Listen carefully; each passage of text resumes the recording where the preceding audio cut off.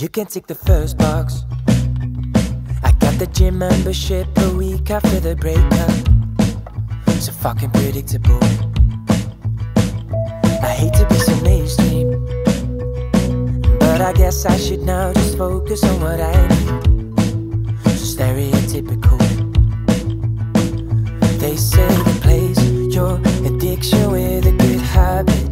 For that I give myself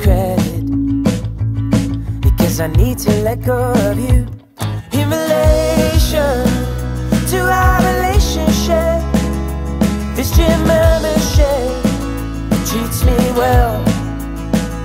The time I've wasted on all your toxic shit.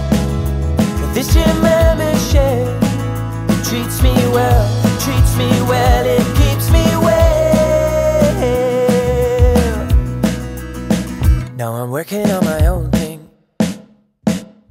fixing your shit took all of my resources.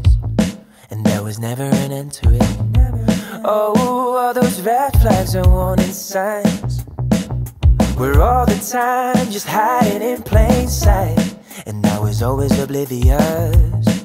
But now I replace my addiction with a good habit. For that I give myself credit. Because I need to let go of you. In relation to our relationship, this gym membership treats me well. The time I've wasted on all your toxic shit, this gym membership treats me well, treats me well, it keeps me well.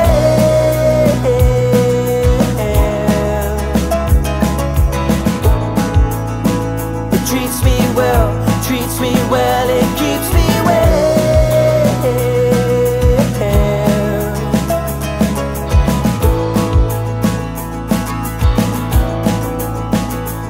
So I lift these weights to lose the weight of my heartbreak.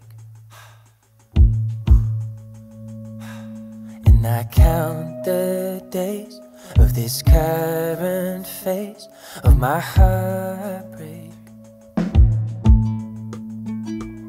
Oh, I lift these weights to lose the weight of my heartbreak.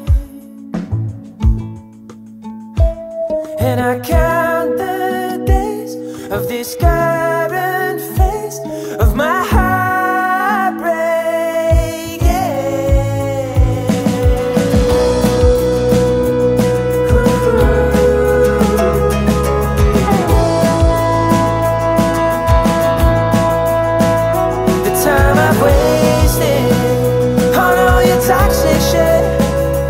Mr. Mother Shea treats me well.